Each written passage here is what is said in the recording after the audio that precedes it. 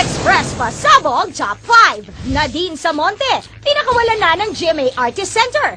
Tapos na raw ang 3-year contract ni Nadine sa Kapuso Network kaya naman maugong ang balitang di umano'y pinakawalan na ng Kapuso Network ang aktres. Hindi raw kasi nagmarka ang huli nitong karakter sa isang serye ang pinagbibidahan nito. Bagay na agad din namang nilinaw ng aktres. Di umano'y 3 years exclusive at 3 years optional original contract niya sa GMA. Nasa kanya na raw yon kung magre-renew pa siya o hindi na.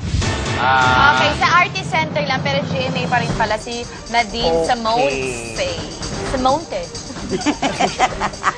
hindi Parang rin niya close kami, bibigyan ko ng nickname sa Monte. Di pala Nadine Samonte. Okay. Parang yung taga ano, school buko.